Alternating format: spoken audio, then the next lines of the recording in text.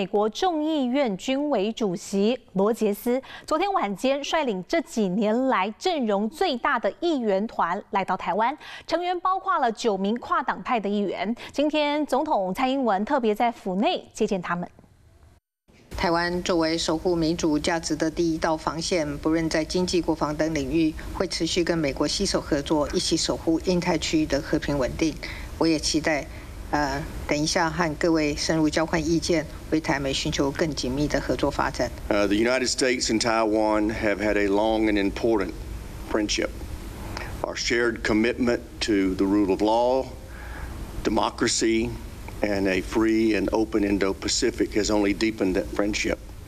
As you can see from the delegation uh, with me today, our support for Taiwan is bipartisan and unwavering.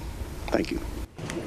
好，这是近年规模最大的美国国会议员访问团。除了觐见蔡英文总统，也将要接受外交部长吴钊燮的款宴。双方会对于这一个台美关系，还有区域情势等等的议题来交换意见，也不排除会来洽谈台美军购。